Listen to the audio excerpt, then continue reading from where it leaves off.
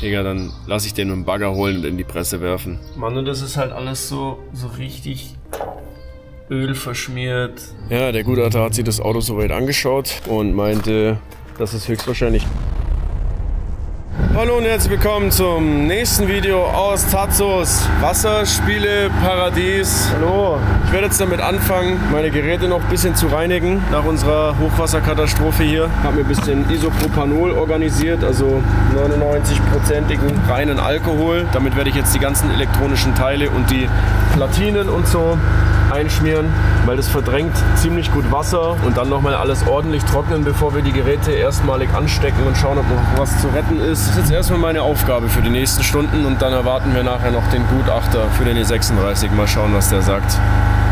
Ich leg mal los.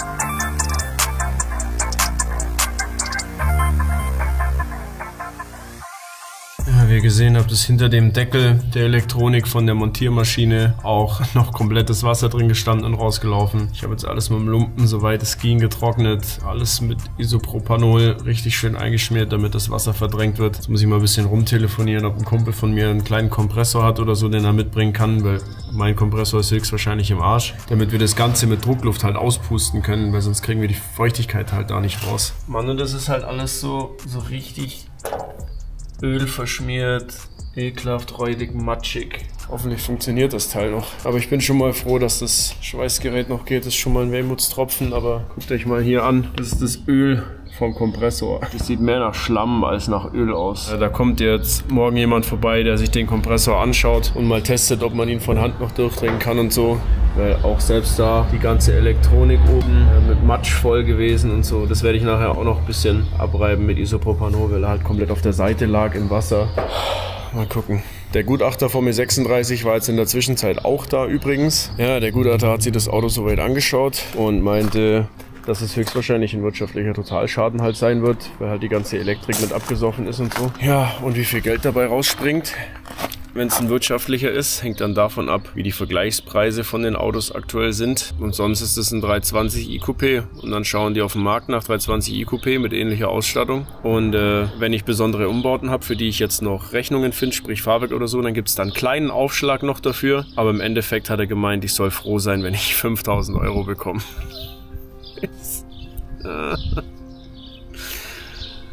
ah.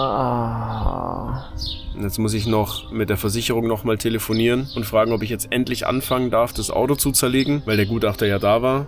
Weil wenn nicht, dann, Digga, dann lasse ich den mit dem Bagger holen und in die Presse werfen. Muss man noch ein bisschen rumtelefonieren, weil ich kann jetzt auch das Auto bei mir nicht zerlegen, komplett, und alles aufhängen überall und verteilen. Wisst ihr, wie viel Zeug aus so einem Auto rauskommt? Das ist unglaublich. Und beim Uwe ist auch der ganze Teppich nass. Also ich habe vorher nochmal unter die Fußmatten reingelangt.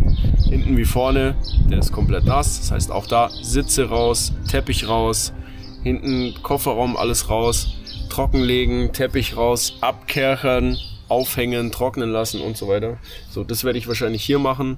Und muss ich gucken, ob irgendein Kumpel vielleicht Zeit und Lust hat, dieses Auto komplett zu zerlegen. Das Auto muss auf eine Bühne, Zündkerzen raus, Öl ablassen, von unten mit einem Heizstrahler das Auto anblasen, dass das Wasser aus dem Motor verdampfen kann. Dann mal langsam von Hand durchdrehen, zwei, drei Ölwechsel, dann könnte es vielleicht gehen, aber Fakt ist, es ist so unglaublich viel Arbeit. Dann habe ich noch den ATP E36, um den ich mich kümmern muss. Die S14 habe ich noch gar nicht wirklich angeschaut. Ein einziger Bruch einfach. Jesus Christ. Ja, wird sich zeigen in ein paar Wochen, wie viel ich tatsächlich von der Versicherung bekomme. Aber ich rechne jetzt mal nicht mit so viel, dass es für einmal restaurieren reicht und die Teile, die kaputt sind, erneuern. Mann, das ist voll deprimierende Stimmung hier. Das ist. Nee, wir vergessen einfach, dass dieses Auto hier steht. Ich schau mal, dass ich einen Kompressor oder so organisiert kriege, dass ich meine Montiermaschine reinigen kann. So, ein weiterer Arbeitstag beginnt. Wie gesagt, kein Kompressor da. Ich muss jetzt mal schauen, ob ich noch einen organisiert bekomme. Aber Prio 1 jetzt mal den E36 hier weg. Der Gutachter war da. Die Versicherung hat gesagt, ich kann anfangen, das Auto zu zerlegen. Das werde ich jetzt schnellstmöglich tun, damit jetzt nicht noch wirklich das Ganze anfängt zu schimmeln. Wobei wahrscheinlich ist auch schon zu spät. Ich habe hier jetzt gerade den Anhänger geholt mit Seilwinde. Werde ich dann gleich mal schauen, ob ich das Auto irgendwie allein hier rüber geschoben bekomme. Erstmal von den Rädern runter. Ja, und dann transportieren wir das Auto zu Uwe in die Halle. Also zu meinem Kumpel Uwe, nicht mit dem Auto verwechseln, weil den Uwe, das Auto, werde ich womöglich hier äh, zerlegen. Ich habe nur noch keinen Strom, Hebebühne geht nicht, was auch immer. Äh, keine Druckluft, nichts da. Und beim Uwe in der Halle ist mehr Platz und der hat Werkzeug und alles. Und dann kann ich da mal das Auto jetzt schnellstmöglich zerlegen. Ja, schauen wir erstmal, ob wir den da wegbekommen.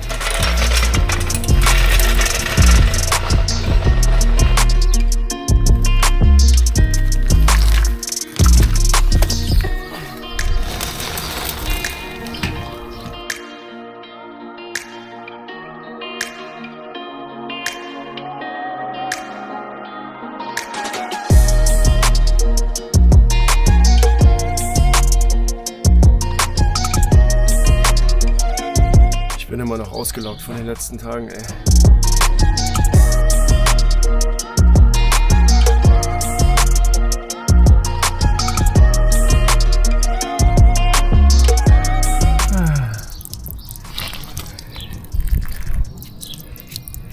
Schön schlammig. Kommt langsam aus der Abgasanlage das Wasser, ha?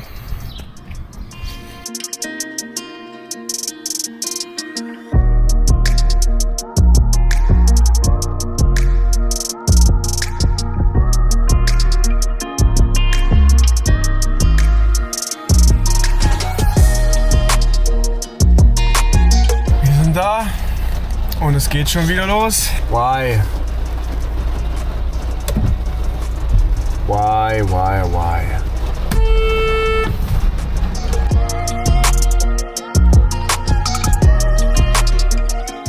So, hier haben wir schon mal unsere Bleibe für die nächste Zeit. Können wir mal alles zerrupfen. Hier in der Halle kann man dann auch schön einheizen mit einem AP-Tools-Ofen. Alles aufhängen, Teppich mit dem Kercher runterstrahlen. Dies, das, Ananas. Fangen wir mal an. Masse. Die hinteren Schrauben vom Sitz sind schon offen. So, bitte. Fahr. Ja. Ja, es fährt. Nicht schnell, aber es fährt. Die Batterie ist auch fast leer.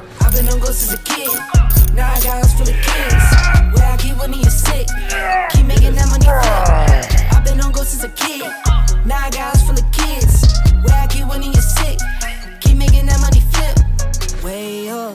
Pick it up, pick it up, pick it up, pick it up, that went way up. Bend that mouse to feed, I pray that check flow stay up. All of my bros, they been my bros, I'm talking day one. I'm talking day one, yeah, yeah. So, ich habe jetzt hier mal den Teppich hingelegt, den werden wir zum Hochdruckreiniger nochmal richtig abstrahlen, dass der Matsch und alles rausgeht. Mir wäre es tendenziell sogar lieber, wenn ich einen neuen Teppich kaufen könnte. Aber es hängt halt davon ab, wie viel von der Versicherung rausspringt, weil der ist halt hier schon eingerissen und es ist im Sichtbereich, also nicht unter einer Abdeckung. Diese Halterungen, wo die Fußmatten festgemacht werden, da sind auch schon zwei ein bisschen ausgerissen. Also der Teppich hat schon viele Jahre auf dem Buckel. Und tatsächlich gibt es den Teppich in dieser Ausstattungsfarbe noch neu zu kaufen, allerdings für sportliche 1200 Euro. Das heißt, ich mache den jetzt mal sauber, bringe den dann zum Trocknen, werde ich in eine lokale Biogasanlage fahren und den damit hinhängen, weil da ist es schön warm und der braucht ansonsten Wochen, bis das Ding trocken ist. Ich meine, das ist richtig dicker Stoff hier. Legen wir mal los mit der Drecksarbeit.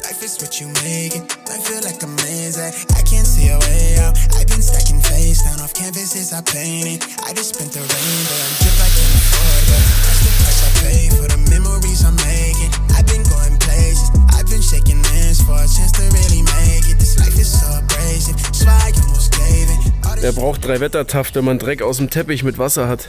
Boah, das ist schwer.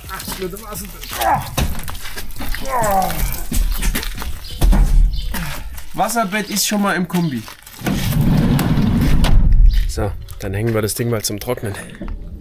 So, die Teppiche sind jetzt beim Trocknen in der Biogasanlage. Ich habe inzwischen hier aus Uwe auch den ganzen Teppich und die Dämmmaterialien und alles raus. Hat schon das Wasser angefangen rauszusaugen. Hier ist jetzt noch so ein bisschen feucht, weil ich das auch schon mit Isopropanol eingesprüht habe alles. Und ich sag's euch, das ist gar kein Spaß, bei mir 39 den Teppich auszubauen, ganz ehrlich. Ihr seht hier in der Mitte noch ist der Teppich noch vorhanden, genauso wie da hinten. Der geht nämlich komplett unter dem Armaturenbrett durch und müsste alles hier komplett rausbauen, um den Teppich in einem Stück rauszukriegen. Ich habe den jetzt hier an der Kante schön abgetrennt, so dass wenn der Teppich nachher wieder drin ist, die Abdeckung über den Schnitten ist. Also man sieht die Schnitte nachher nicht, wenn es wieder zusammengebaut ist. Aber bevor ich mir das antue, alles zu zerrupfen, das ist so schon Arbeit genug. Vor allem, wenn man das Ganze bei zwei Autos machen muss. Das ist nämlich ein ganz schöner Haufen an Innenverkleidungen, was da aus so einem E39 rauskommt alles. Ich hoffe tatsächlich, dass ich das alles wieder zusammenbringe. Jetzt müssen wir erstmal ein paar Tage warten, bis die Teppiche trocken sind. Es dauert nämlich ziemlich lang bei so dickem Stoff.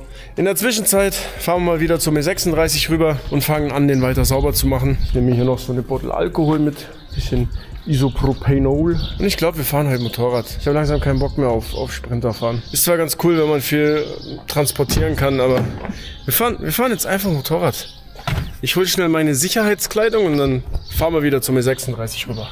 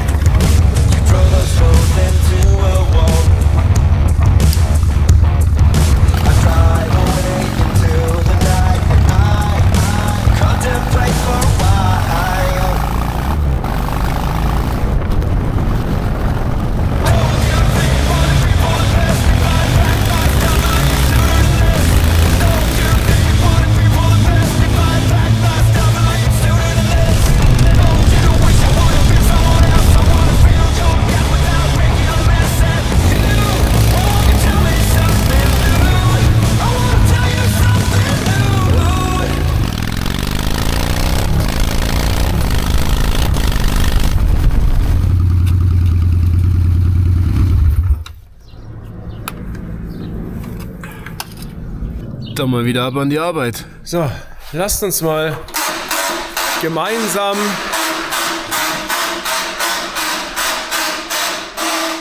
das Wasser im Auto loswerden zuallererst.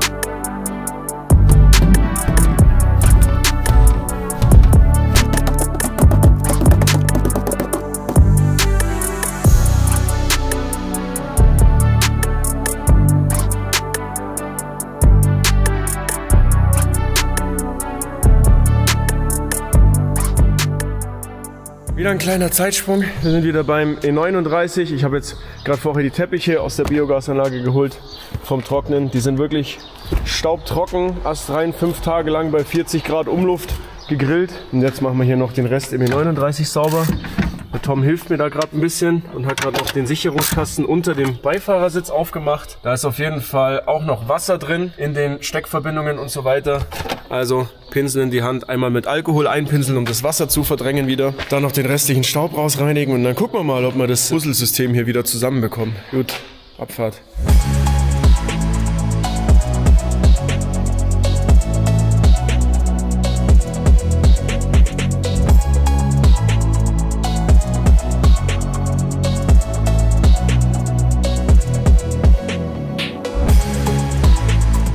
Ganze Wasser hier im E39 muss eigentlich über diese Unterbodenstopfen reingelaufen sein, weil der stand gerade so bis zum Schweller im Wasser. Also es war noch nicht über der Türkante bei dem Auto.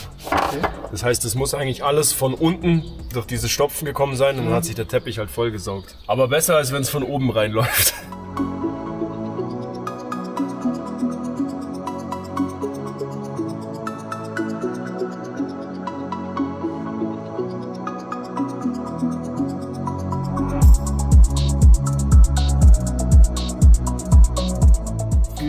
hast du hier noch einen Imbus stecken? Ich habe keine Ahnung. ich weiß nicht, wo der herkommt. Der geht durch die Dichtung vom Ah! für den Motorraum nach vorne. Ich weiß, warum der da steckt. Wir haben den da reingesteckt, damit wir das Kabel für meine Zusatzscheinwerfer durchziehen können. Genau. Und den Imbus suche ich schon voll lang. Und ich habe mich immer gefragt, wo der hin sein soll. Perfekt.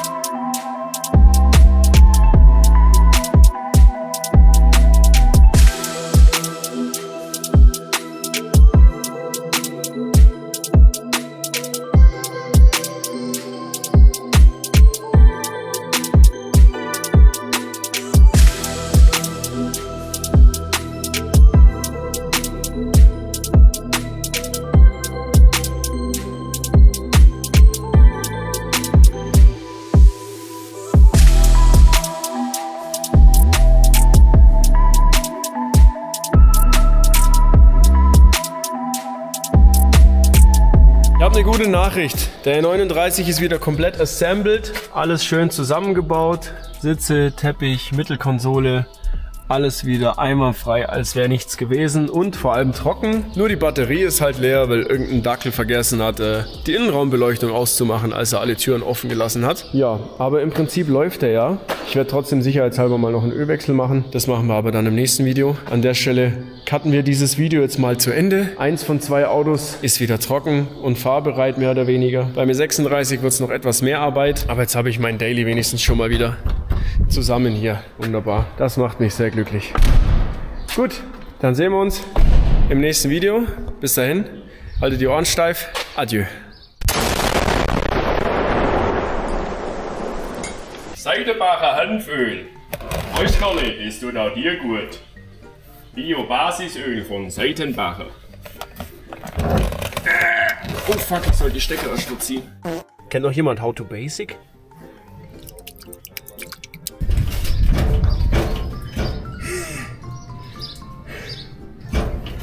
Bin zu leicht. Runter mit dir.